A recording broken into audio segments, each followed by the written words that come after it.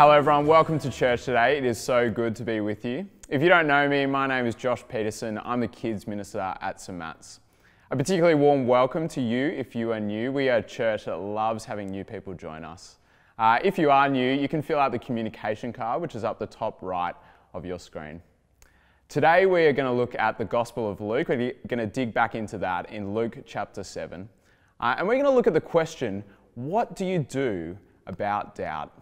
I'm sure many of you are doubting God's sovereignty and goodness in this difficult time.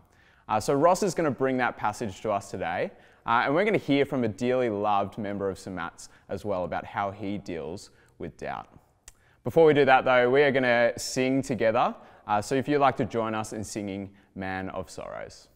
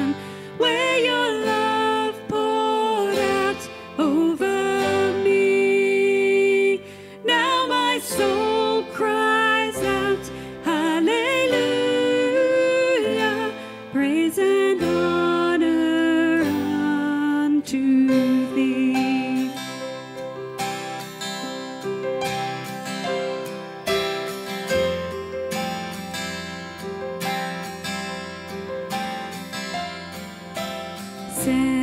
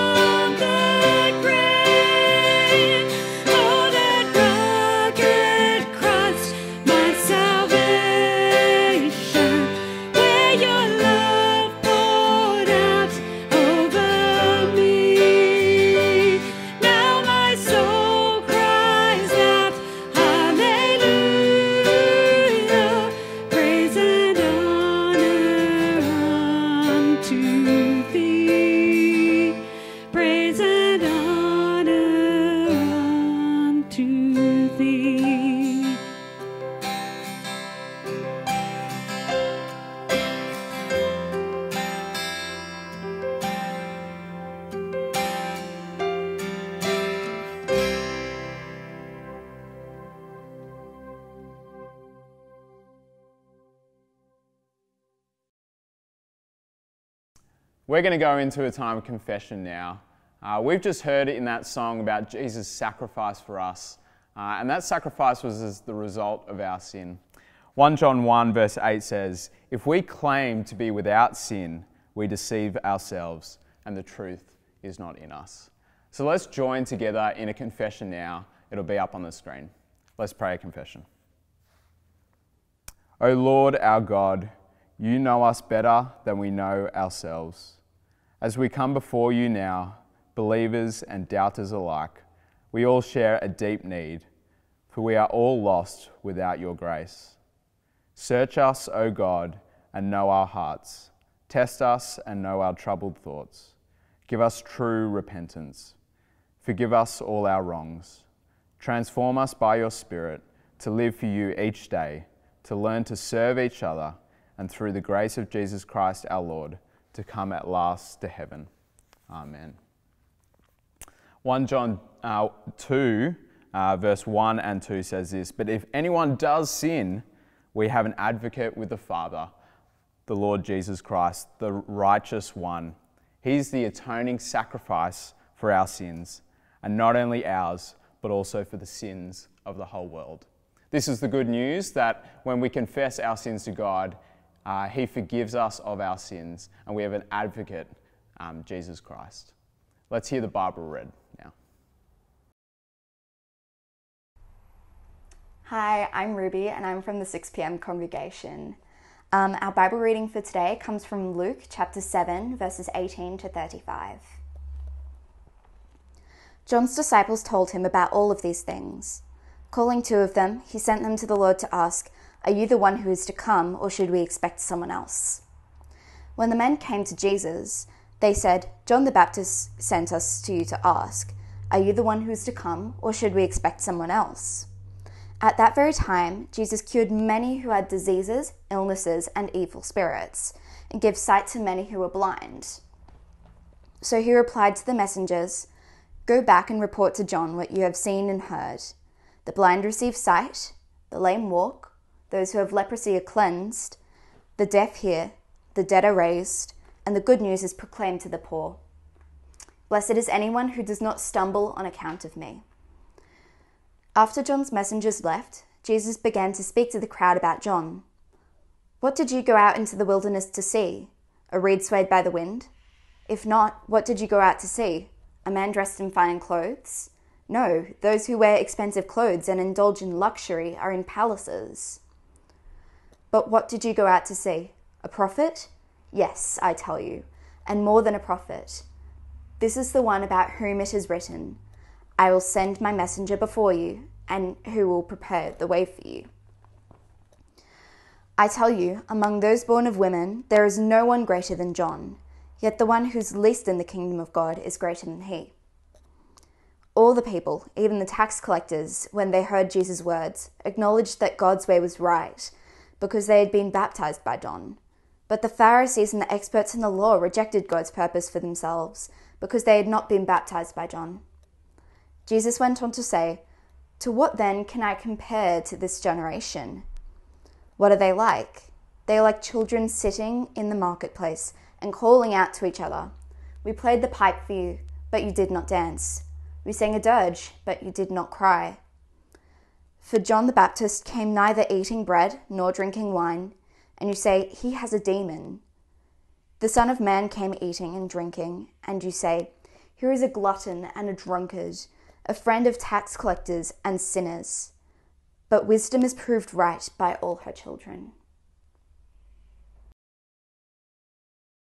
Hey everyone, it's so good to be with you uh, today. If we haven't met before, my name is Ross. I'm one of the pastors here at St. Matt's. It's such a joy uh, to be able to open up God's Word with you. I feel, feel like I've really just missed those moments of, um, of speaking with people and, and sharing God's Word. So I'm so excited to do that uh, today. And really, we have just such a, a great passage. I love uh, Luke chapter 7, and I think it has such a powerful word to speak to us at this time in our lives. See, Luke 7, uh, verses 18 to 35, they're all about doubt and uncertainty.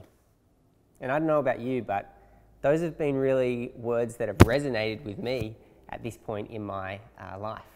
I feel like with everything going on, we can be so uncertain, and those doubts can start to rise. There's so much stuff on the internet at the moment, but one thing that I read last week was a paper from the McCrindle Research Group. And as they surveyed Sydney siders, the biggest thing, the biggest emotion that people were struggling with was uncertainty. It makes sense, doesn't it? We just don't know.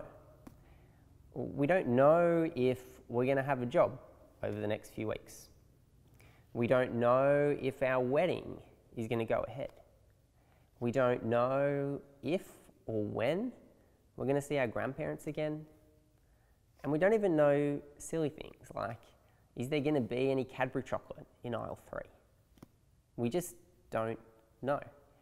And that uncertainty can be really hard.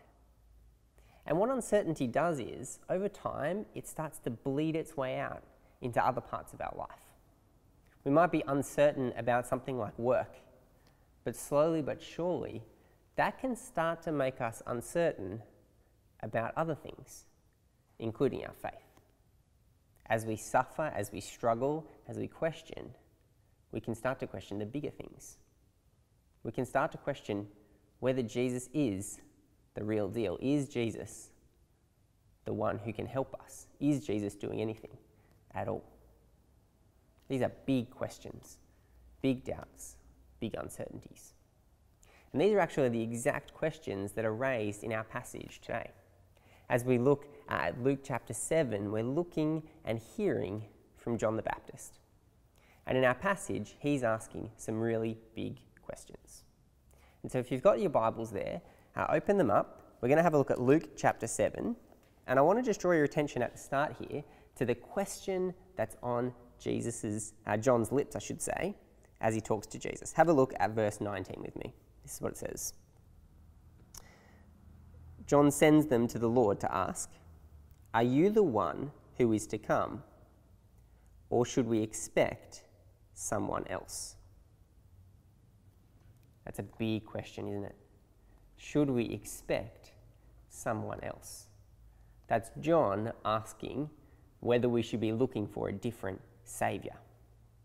And it's John the Baptist asking the question, which is huge, isn't it? Like, as you think about who John is, that's like Matt Damon and Ben Affleck. You know, he's his right hand man, he's his, he's his dude. It's the Chewie to his Han Solo, it's the Peter Costello to his John Howard. This is the guy who is meant to be his number one supporter, starting to wonder are you the real deal? And so, what's, what's going on with that? But I tell you what's even stranger. The thing that has made John question. See, have a look uh, at verse 18. John's disciples told him about all these things. What are the these things? With all the miracles that Jesus has been doing. See, Jesus has been doing all this good stuff, and then John has started to therefore doubt Jesus. It's like, sorry, what? Why? Why? It's not, it's not as if there was some moral scandal, there was no electoral fraud, there's no imposter syndrome. It's good things that have made John doubt Jesus. What on earth is going on here? And really, the answer we find in the context. You see, we don't see it directly in this passage, but did you notice that John doesn't go himself to ask Jesus? He sends others to do it for him. Why? Because he can't. You see, John is in prison. And all of a sudden, we start to get a bit of a clearer idea. John can't question Jesus because he's stuck in a dirty old prison cell. But even more than that, do you remember the things that John taught about Jesus? He said that when Jesus came, he would get rid of the corruption. He said when Jesus came, it will be a time of judgment. He said when Jesus came, it will be a time of justice and peace. And now here's John sitting in a cell, watching the corrupt, hearing about the, the unjust doing their thing. The question kind of makes sense now, doesn't it? Jesus has not lived up to John's expectations at all. Jesus really doesn't look like the kind of hero John was expecting. And that can happen to us as well, can't it? Maybe we're stuck in quarantine, or maybe we're stuck in some difficult situation. And all of a sudden it's like, wait, this isn't how it should go. This isn't what I thought a life with Jesus would look like. This isn't what I expected. And doubt rises and rises. And so, what does Jesus say to John? And what does Jesus say to us? Well, let's have a look at his response. And I love his response. It's quirky, if we're honest, and at first it takes a little bit of understanding. But in verses 21 and 22, uh, Jesus answers John, and he answers him in such a soft and gentle way, but it's really powerful. And what he does is he goes back and kind of mentions all the good stuff he's been doing again, which is kind of weird at first, right? Because that's the stuff that's confused John in the first place. But what Jesus is actually doing is he's going back to the book of Isaiah and he's doing like a fancy mashup. He's grabbing all sorts of little promises, prophecies about what the Messiah would look like, and he's jamming them all together. And why is he doing that? Well, for two reasons. Firstly, he's trying to remind John all of the good stuff the healing of the sick, the healing of the blind, the driving out of the demons. That is his mission. That is what he's on about. And all of that points to who he is. He is still the hope of the world. Even if he's not filling one expectation you had, he's still doing all the other things that he was meant to do. So that's the first thing. It points to the fact that he is the hope of the world. But what's super interesting is John uh, has been struggling with all the justice stuff. And Jesus, when he quotes from Isaiah, he takes out all of the justice passages. It's weird. He mashes them all together, deliberately removing the justice passages.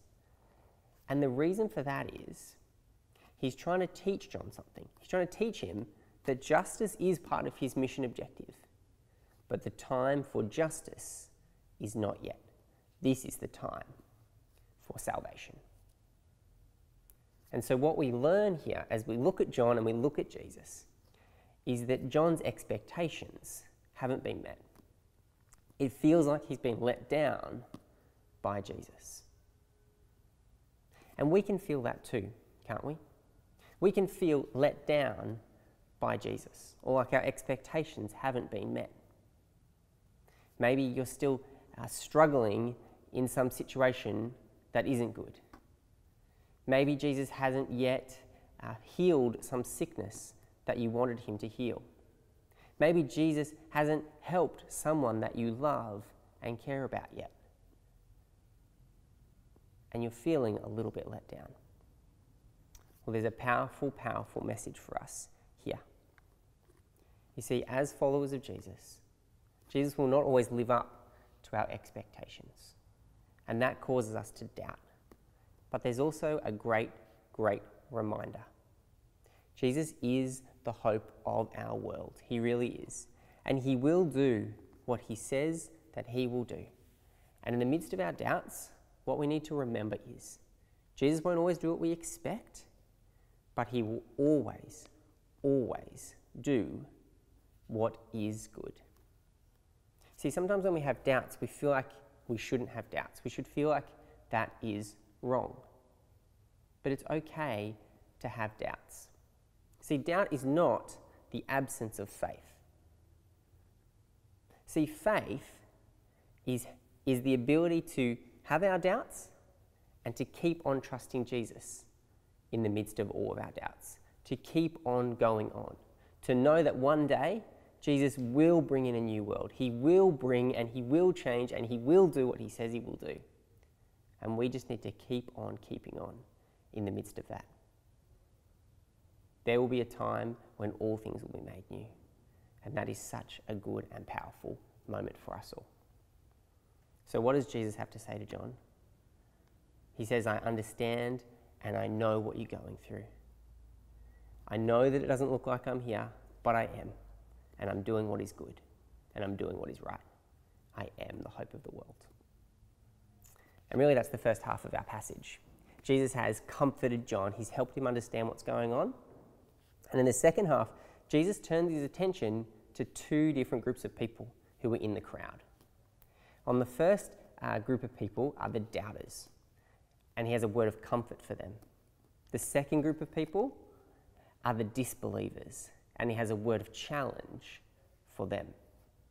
And so, if we have a look at the doubters first, you'll notice them come up, uh, and they're represented by John, and he speaks to them in verses 24 to 28. And really, these verses are a defense of John. And it kind of makes sense, doesn't it? On one hand, you can imagine the people around thinking, wait a second, John's a doubter. He can't be the real deal. Like, why did we listen to him in the first place? But what Jesus is doing here is he's reminding them, he's reminding uh, the crowds that just because John had doubts doesn't mean he's not the real deal. See, we all will have doubts at some point in our faith. We all will have moments of question, moments of query, moments of wonder and what on earth is going on. And often those moments come in the midst of suffering, and that is okay. It's okay to have doubts. In fact, uh, Jesus uh, says that John is one of the greatest people, in fact, the greatest person ever born of a woman. Jesus knows that John is still great despite our doubts. That's a powerful word to us. You can have doubts, and that can sit okay in the midst of your faith. Doubt is not the same as disbelief. And that's the point that Jesus is really driving at here. And that's what he goes with the next part of our passage and this final part. He speaks now not to the people who are doubting, but those who are disbelieving. And they're represented by the Pharisees in our passage today. And we really get this at the end in verses 29 all the way through to 35. And Jesus uh, compares the disbelievers with children who can't be pleased. That's the difference between doubt and disbelief. Doubters are looking for an answer, hoping to have their mind changed. The disbeliever doesn't want their mind changed. They're like kids who can't be pleased. It's like when you go to a cafe uh, and you're sitting there with a, with a kid and you say to them, Do you want the chicken nuggets? Nah, I don't want the chicken nuggets. Okay, no worries. Um, do you want the mac and cheese? No, I don't want the mac and cheese. Cool, cool, cool, cool, cool. Uh, salad. There's a great little quinoa salad here. Nah, I don't want the quinoa salad, Dad. I don't even know what quinoa is. And, and you just can't, you can't please them. You suggest every single thing on the menu and you just, they don't want anything. That's how kids go sometimes, isn't it? But we can be like that with Jesus, can't we? We can be never pleased by Jesus. Jesus is too loving. Jesus is too just. Jesus is too. We can always have a question. And although we present them like we want answers, we know deep down in our heart, nothing is ever going to satisfy us. If that is you, can I please encourage you to not do that? There are so many people who love you. There are so many people who want you to know Jesus and who are doing everything they can in life to do that. Please give Jesus a real red hot chance. Don't be like a kid who doesn't want to eat anything on the menu. Be someone who's willing to try the quinoa salad. Give Jesus a legitimate chance. He maybe just will change your mind. And so that's what we've seen in our passage, haven't we? We've seen uh, that Jesus sometimes doesn't live up to our expectations, but he is the hope of the world. and He's doing good things for us, even when it doesn't look like it. So, in the meantime, what do we do with our doubt? Well, my encouragement is to do what John does with his doubt. Notice John doesn't bury his doubt deep down inside. That can be the temptation, can't it? When you've got a question, it's like, oh, I shouldn't have that thought. I shouldn't wonder that. I'm just going to push it down, down, down, down, down. But John actually raises his doubt and he confronts it. And so, my encouragement is for you to do the same thing too. Raise your doubts, explore them, and try to get some answers. And a way of doing that is with five little steps. And in the chat on the side, there's going to be a document which will help you run through what it looks like to try to explore your doubt. But, but here are the five steps in the quickest way I can. What do you do with doubt? Firstly, state it as clearly as you can. Write out your doubt. Know what it is. Secondly, explore it. Try to figure out where it's come from. Is there some past experience? Is there some present suffering? Or is there something currently missing that's leading you to doubt? State it, explore it, speak it. There's something really powerful about saying your doubts out loud to someone else. Let someone else in. Fourthly, Bible it. This is really powerful. Look in God's Word to see what promises speak into your doubts. What has God promised to do for you that will change how you feel? And secondly, what in God's Word do we learn about who God is, His character, which challenges how we feel? So that's Bible. Fifthly, pray it. Take some chances to pray and pray deep, big prayers. Look for God to change how you feel. And then at the end of all of that, repeat. Sometimes our doubts, they don't go away in a week, two weeks, a month. We just keep working through them. It's okay to have doubts, but I want to keep exploring and trying to challenge our doubts. And so as we come uh, to the end of our time today, we're all going to have doubts in this life, but the message of the gospel radically changes them. See, the gospel says that Jesus died and rose again, and that changes everything. That means that Jesus is our friend and not our foe. It means that he loves us and he wants good for us, not evil. It means that God is our Father. And that means that we can trust him even when we have absolutely no idea what he is doing. And I tell you what, large parts of our lives sometimes feel like that. We may uh, not always know what God is doing. Jesus may not always do what we expect. But, brothers and sisters, he will always do what is good. Amen.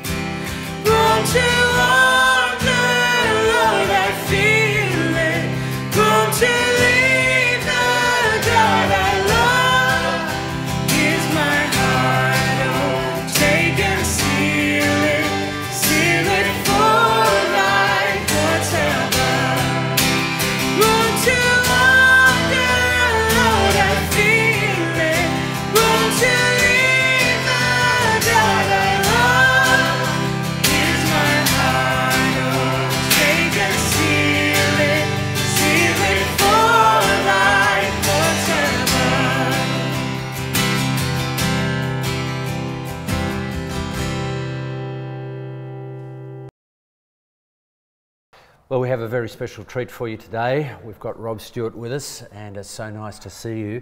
Uh, if you're new to St Matt's or part of All Saints, uh, you won't have met Rob uh, before, but Rob has been a long term member of the staff team at St Matt's, absolute legend. Uh, so many people love him, and he loves so many people, and it's great to have you with us. Rob, you've been, uh, well, technically on the staff team, uh, but you've been on sick leave for, for a while with uh, quite chronic pain as well as Parkinson's. Yeah. So tell us how you're going. Uh, many of us haven't caught up, so how are things? Uh, th- th- th- th- thank you, Baz. It's lovely to come in, and it's lovely to share from a, distance. I, I'm doing okay, thank you. It's it's a um, as Baz said the the the the, the, the two things are nerve pain and Parkinson's, and I'm on a, a few medication for for them both, and uh, things are pretty stable. Uh, the, the the the thing is, I would love when people um, ask. I'd love to say I'm doing better, but but but, but in, it's a it's a slowly going down a gear. So so so that uh, it makes me sad for the reason actually that Baz said. Um,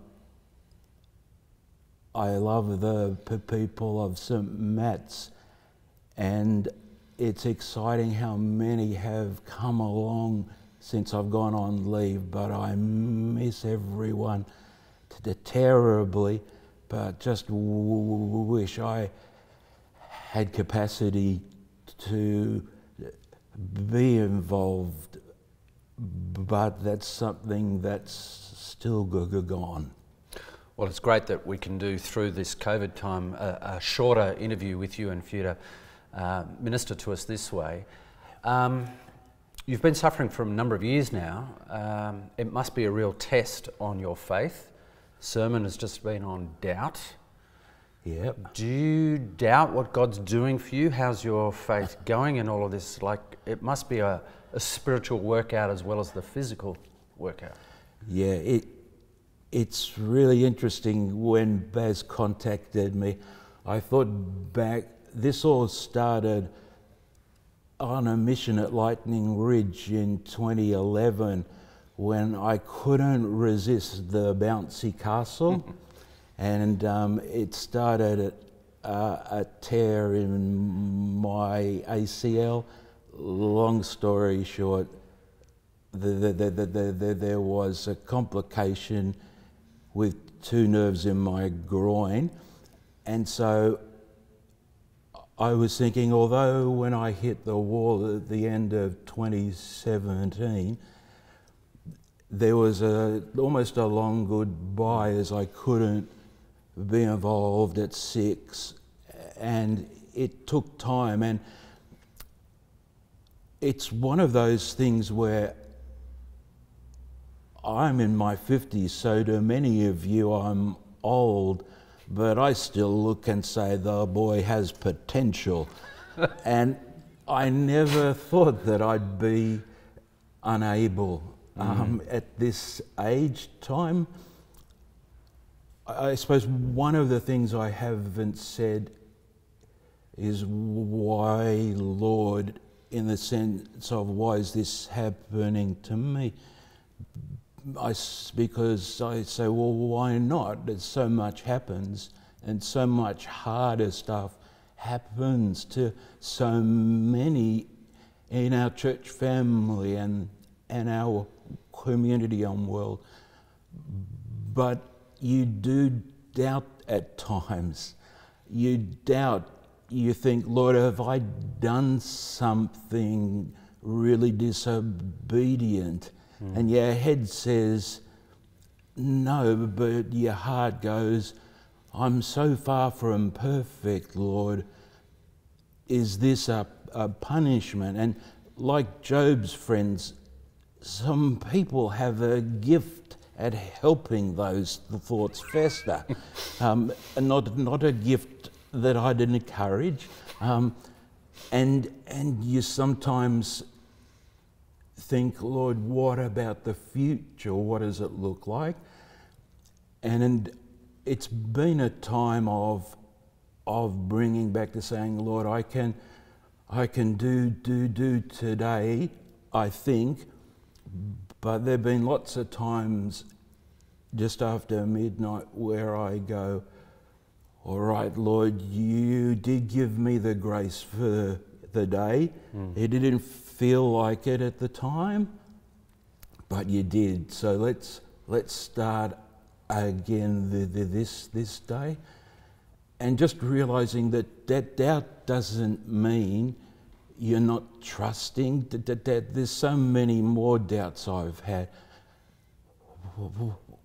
I'm not feeling I can do, anything to contribute to God's kingdom. I'm not do, do, do, do, doing. And that is such a hardwired part of us. So the feeling of letting people down, feeling cut off, feeling forgotten, feeling there's a, a cost because of no capacity. There's so many things and doubts that run, but those doubts don't take us away from God. Mm. Those doubts I can bring to Him. And it's not like clicking your fingers and they're all resolved. They come back and they, they go and they, they play on your mind. And you know, you, you, you, things happen, you miss people dreadfully. But, but, but, but, but doubt, like Thomas, I love Thomas. Thomas, we call doubting, but he, he was the only disciple who didn't get to see the risen Jesus. And if I was him, I'd feel a bit left out and would have been stronger in saying, Well, I won't believe unless I see. And when Jesus did appear to him, Thomas said, Oh, it's all right, Lord, I believe. And Jesus said, Here I am. Look, to touch Thomas. And Thomas's doubts didn't mean he wasn't in a relationship with Jesus. It just meant he felt hurt or confused or struggling to think is, is there something, why am I left out? But, but, but of course, none of that. It was so Jesus could reveal something greater. And this time it was so that he could say, Those who believe and don't see me, um, how, how blessed are they? they, they, they. Mm. Oh, it's a big ramble, sorry, Baz. No, it's beautiful, Rob. You said at one point uh, doubting is not the same thing as unbelief. Yeah. And uh, I think there's something really good in that. Uh, yeah. And you've ministered so beautifully in your own struggles uh, to us today, so thank you. You should know that many people are praying for you and for Liz, and uh, all the time. Uh, for many years, it's been sustained. Uh, yes. It's because you love so many, and we love you too. So thank you, Baz. Thanks, thanks for ministry today. Thank you very much. Bye. Hi, everybody. My name is Fran, and I'm going to pray for you now. So please join me as we pray together. Our Heavenly Father, we acknowledge our own frailty and limitations in dealing with the current crisis. We acknowledge our sinfulness and desire to run our lives away from you. We are sorry that even when we desire good things, sin is right there beside us, and that is the path we so often take. Please forgive us. We thank you for the hope of the resurrection, for we know that because Christ was raised from the dead, we also have hope that we too will be raised with him. Please remind us daily of this sure and precious hope, a hope that can never perish, spoil, or fade. Good news for all, and especially at a times of immense suffering.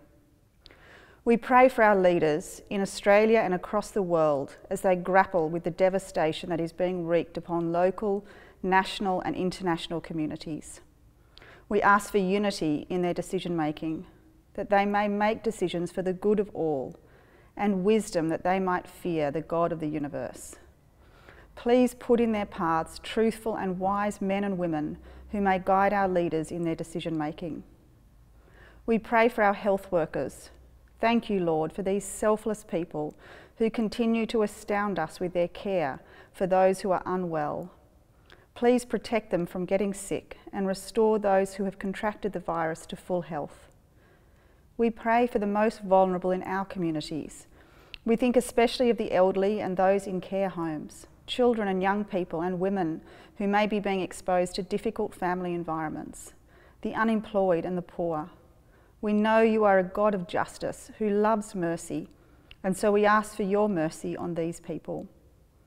We are mindful, Lord, that there are many across our world who live in extreme poverty and for whom this virus will have potentially devastating consequences. We think of the work of the Freedom Project and Sunshine Cambodia, who work in slum communities. We thank you for the way their good work over many years has enabled them to build favour in their broader communities. We pray for their physical protection and for the morale of the teams as they navigate communication through technology.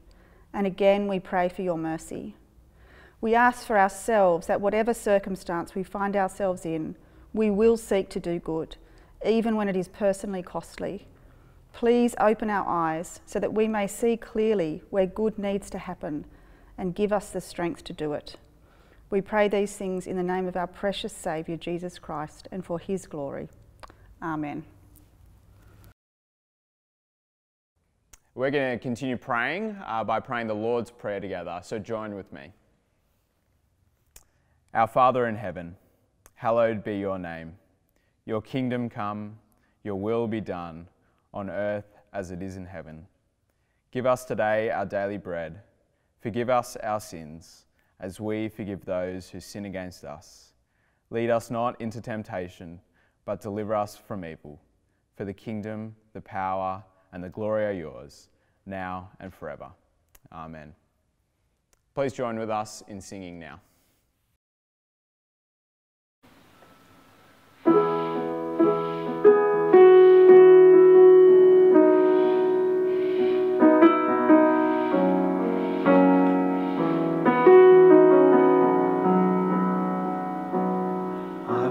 See the world to come, for one has suffered in my place, and there is grace awaiting me, awaiting me.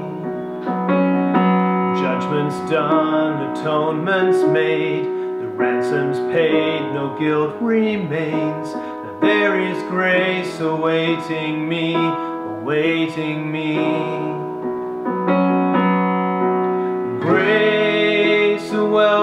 From the Father. Grace, forgiveness full and free. Grace that's greater than our failings. Oh, there is grace awaiting me.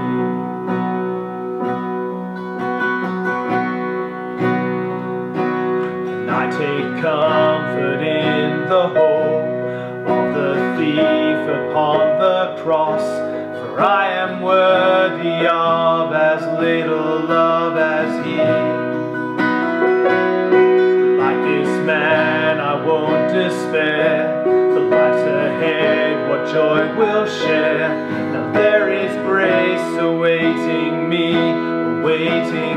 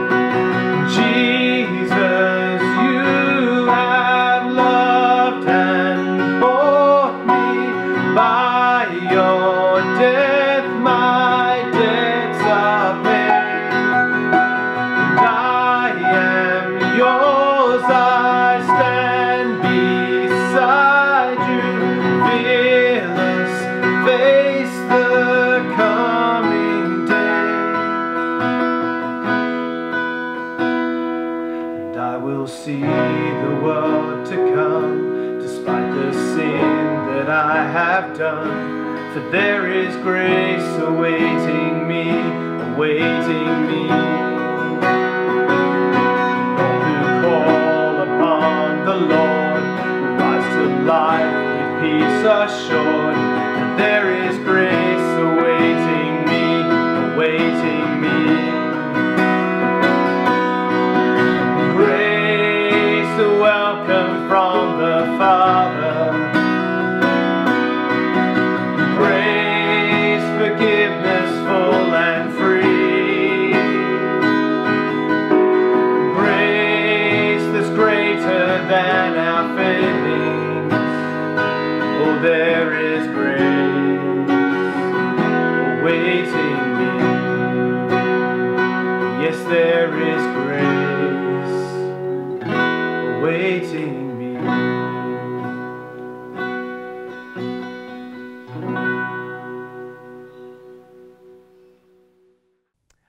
posed the question at the beginning of our service what do we do about doubt?